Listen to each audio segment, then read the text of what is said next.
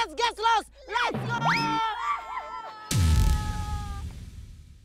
Tak ada manusia yang terlahir sempurna. Jangan Di umurnya yang kian senja, Mbak Salia masih bersemangat berjualan arang. Ini semua untuk memenuhi kebutuhannya sehari-hari. Kita pasti pernah dapatkan cobaan yang berat seakan hidup Bukan hanya kebutuhan dirinya semata, tapi Mbak juga membiayai seorang buyutnya yang bernama Tia. Sedangkan fisik Mbak yang semakin lemah, Tia pun turut membantu Mbak berjualan arang. Sebelum pergi ke sekolah, Tia selalu dititipkan arang untuk ia jual setelah ia pulang sekolah.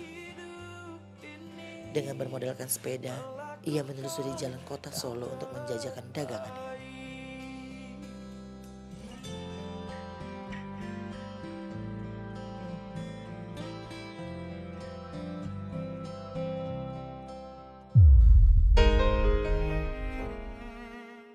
Tidak ada aktivitas lain selain membantu Mbah dan bermain dengan kucing kesayangannya.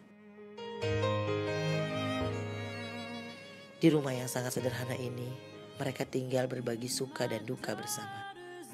Segala kesederhanaan yang dimiliki, mereka selalu bersyukur atas nikmat yang Tuhan berikan. I am strong and wise, and I know no fear.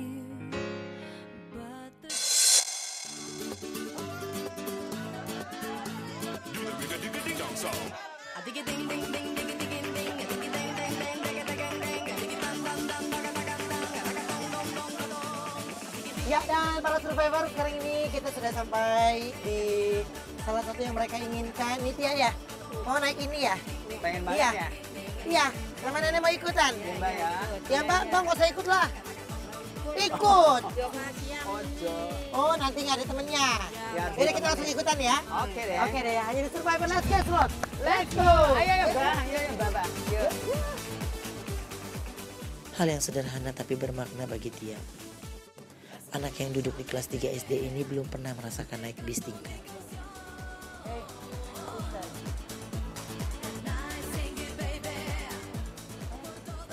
Ya, dan para survivor sekarang ini kita sudah ada di bis tingkat uh, Werkudoro ya. Emang Tia pengen banget naik ini. Iya. Iya, seneng tuh ngeliat jalanan. Makasih kak. Sama-sama. Dan eh, para survivor sama-sama bisa kita lihat ya seperti apa ya eh, bahagia dan kita lihat Mbah juga ikut bahagia karena tidak sesuatu yang berharga yang mereka inginkan tapi sesuatu yang sangat simpel yang mereka inginkan dan eh, mudah-mudahan apa yang kami berikan ini bisa membuat mereka senang.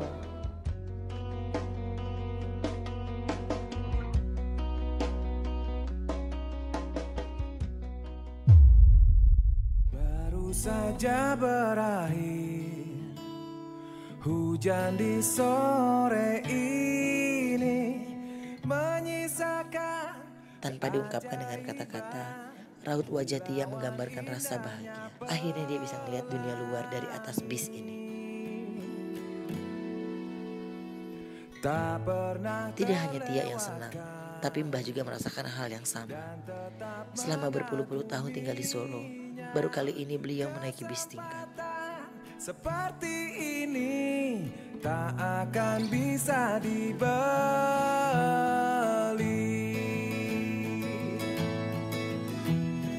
Bersamamu. Ku habiskan waktu Senang bisa mengenal dirimu.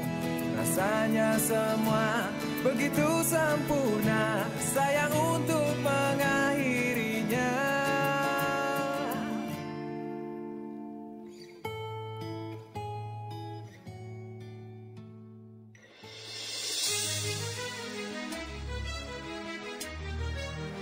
Ini sini.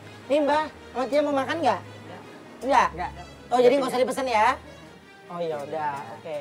Mbah, ini ngelihat Tia semangat kerjanya, sayang nggak sama Tia? Sayang. Tia sayang nggak sama Mbah? Sayang dong. Sayang. Emang orang tuanya Tia ke mana? Kerja. Oh kerja. Coba ya. Dada dada dulu sama orang tua Tia. Panggilnya apa? Bapak. Bapak. Panggil bapak. Mana? Halo pak. Bapak. Ya kangen. Ya kangen. Pulang pak. Pulang Pak. Kaulah nafasku Dan eh, kita bisa lihat bagaimana Tia dan juga Mbah. eh, Mbah tetap semangat bekerja. Ya, terima kasih sekali Mbah untuk semua cerita yang Mbah berikan. Tapi sebelum kita berpisah, ada sesuatu juga mau kita berikan sama Mbah. Mana coba? Ah, Ini adalah hadiah buat Tia, perlengkapan sekolah yang baru. Semoga bisa membuat Tia lebih semangat lagi belajar di sekolah. Nah, dari tadi Mbah nyeker terus nggak pakai sendal. Ini saya beliin sendal ya. Ya, Biar Mbak pakai. Mbak pakai. Ayo. Lalu ada juga sendal buat Mbah. Dipakai ya Mbah, biar kakinya tidak sakit lagi ketika berjualan. kepada Allah bersyukur sepanjang Wah, cantik. Ya kan?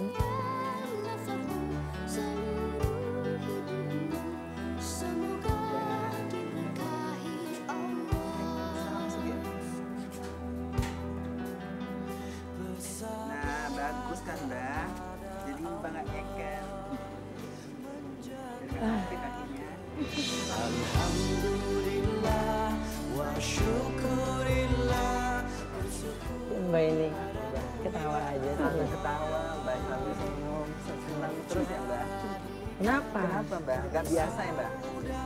Ntar lama-lama terbiasa supaya kakak Harus pakai sendal ya. Ya. Jadi biar terbiasa. Buat Tia ini ada seragam sekolah, sama tasnya. Ya, biar sekolah ya. Ini juga Mbak, ini buat di rumah Mbak. Tidur. Ya, ini buat Mbak tidur. Ya. Iya, sama-sama. Dan juga ini ada sesuatu buat Mbak. Ya, semoga ini bisa berguna ya buat Tia juga ya. Jadi bisa berguna buat Mbah dan Tia. Amin. dan sebelum kita berpisah saya ingin menitipkan satu pesan kepada anda. Hidup itu memang pilihan dan kita memilih untuk bahagia. Dan Mbah juga eh, Tia terima kasih. Dan para survivor dari Solo kami pamit. Hanya di Survivor Let's Get Lost. Let's go.